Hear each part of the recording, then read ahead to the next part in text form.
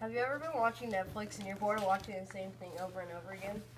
People back in the Renaissance were bored of seeing the same land and the same things over and over again.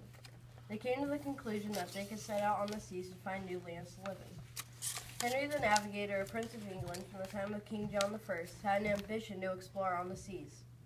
He improved the method in which to sail, spread religion, and brought more people to sail. Have you ever heard of the famous explorer Christopher Columbus? His actual name was Cristobal Colon.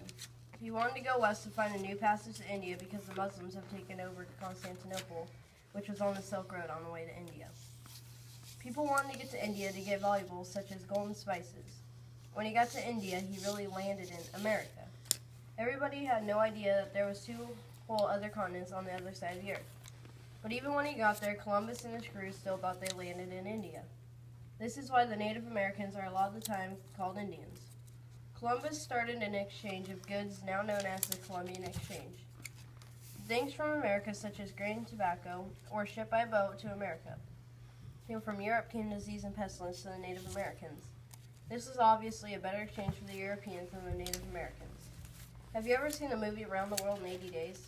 Ferdinand Magellan, a man from Portugal, was the first man to travel all the way around the world. He left on his amazing voyage in 1519. He eventually died from a poisoned arrow in the Battle of the Philippines. The funny thing is that he never knew that he sailed all the way around the world. The last important sailor that we are going to mention is Vasco da Gama, a man from Spain that was the first man to sail around the Cape of Good Hope, the Horn of Africa.